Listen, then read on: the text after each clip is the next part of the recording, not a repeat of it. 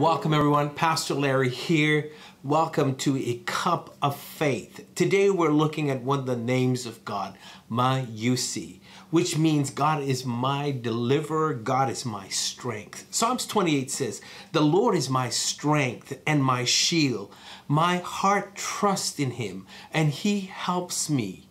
My heart leaps for joy and with my songs I praise him. The Lord is the strength of his people, a fortress of salvation for his anointed one. You know, strength can mean many things depending on the scenario and the situation. Strength is the property of being physically or mentally strong. It is the physical energy or intensity. It is the power to induce the taking or changing of a course of action. It is the amount of energy that is transmitted to win a battle or to complete a task. Proverbs chapter 24, verse 10 says, If you falter in a time of trouble, how small is your strength? You know, strength is what one needs to overcome adversity. The presence of God in your life makes you stronger. God wants you to have a deep assurance that His plan is to strengthen you from the inside out, no matter what circumstance you might be facing in your life. Strength, power for living is needed by everyone, especially in the challenging times that we live in today things are not going to get easier. So we need to grow stronger to overcome whatever adversity life throws our way. David and his men were away from their camp. When the Amalekites came and they raided his camp, they kidnapped all of the women and children, took them away, burned their entire camp to the ground. When David and his men returned, uh, uh, David's men wanted to turn against him. In fact, they were going to kill him. You know, David could have just said, That's it. He could have just given up. Uh, but that's not what the Bible tells us. First Samuel uh, chapter 30, verse 6 says this He says, But David found strength in the Lord.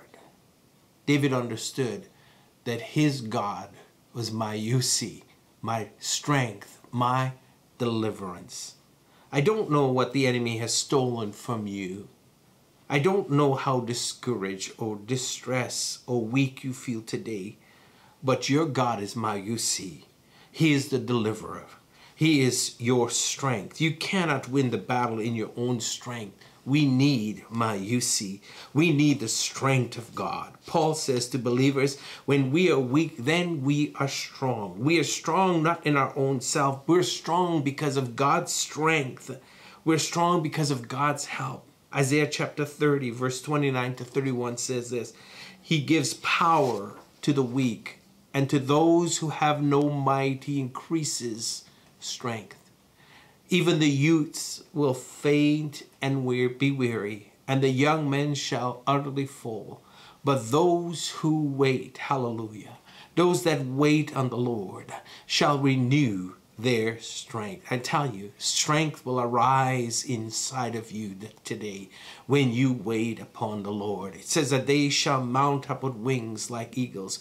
They shall run and not be weary. They will walk and not faint. As you depend on God, He will give you the strength, the deliverance to overcome every challenge, every attack that the enemy might bring on your life. So today, are you out of gas? Do you feel like you're running on empty? Are you operating on your own power or are you plugged in, trusting in Mauzi, the God of strength, the God of deliverance? This is the power that called the world into existence. It is the power that raised Jesus from the dead. And Paul says that power that raised Jesus from the dead, it resides in every single believer. That power is not just available, it is already inside of you. Ephesians chapter 3 verse 20 says, Now to him who is able to do exceedingly abundantly above all that we ask or think, according to the power that works in us. There it is.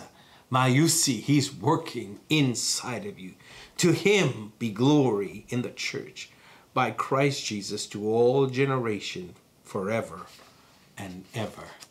Amen. Let me pray for you.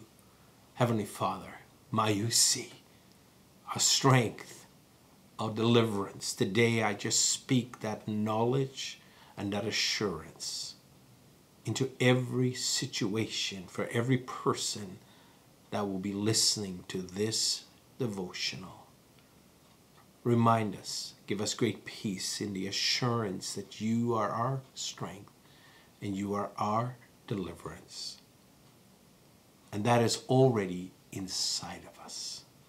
We pray this in Jesus' name. Amen and amen. Thanks again for joining us. We love you very, very much. God bless. Have a great day.